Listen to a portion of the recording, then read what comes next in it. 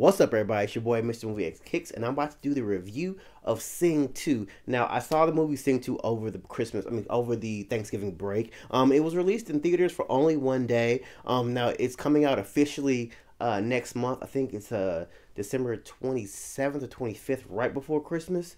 So, uh, I have to say, I was highly impressed with this movie.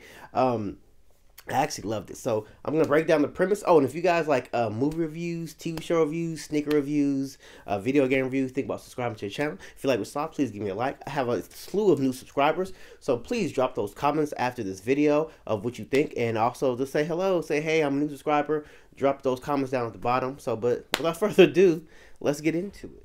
Buster Moon and his all-star cast of animal performers are about to perform the most dazzling show in Red Shore City, which is basically the equivalent of Las Vegas in their world. There's just one problem. In order to fulfill this lifelong dream of Buster Moon in performing in this major city, they must find the most elusive rock star in the world, Clay Calloway. Yeah. And if they cannot persuade Clay Calloway to join this all-star cast in, ex- in extravaganza performance, the dream of Buster Moon and the others will be tarnished forever.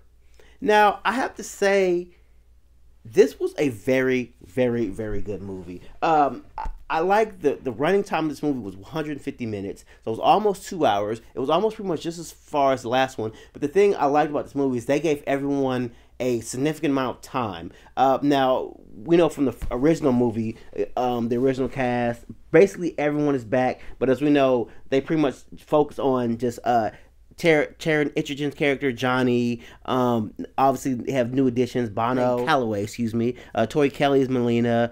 Um, Ash is uh, Scarlett Johansson. Halsey plays Porsha, which is a very funny character. She's very kind of sounds like uh has that uh Harley Quinn uh New York accent, and I, I really love her rendition. Seth MacFarlane had joined the cast as well.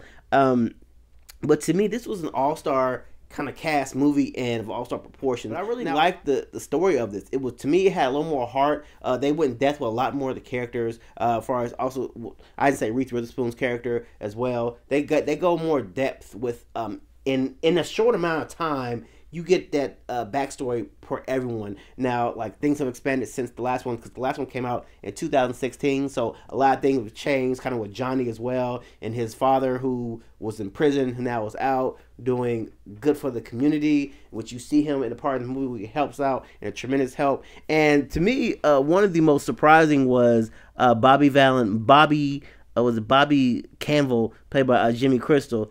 Uh, he was basically the quote unquote villain of the movie. He was the person who owned the hotel where they were doing this extravagant um, show, and he told them if he didn't get Clay Calloway to join them, then he basically would pretty much kill Buster Moon. So they had that pressure of putting on this extravagant show and getting this reclusive uh, rock star and they do a lot a lot of backstories behind him on why he's kind of been hit hiding away. And i love the story behind him. And also to get a rock legend of bono to play him was to me a beautiful like i was thinking he was more I, he sounded almost like sting. Like in the and I, when i found out it was bono i was like okay i can hear it. So but uh, to me this was a beautiful movie beautiful runtime movie. Uh, to me you really we rarely get movies that surpass the first one uh, in my personal opinion, I thought this was, if not as better than the first one, just as good.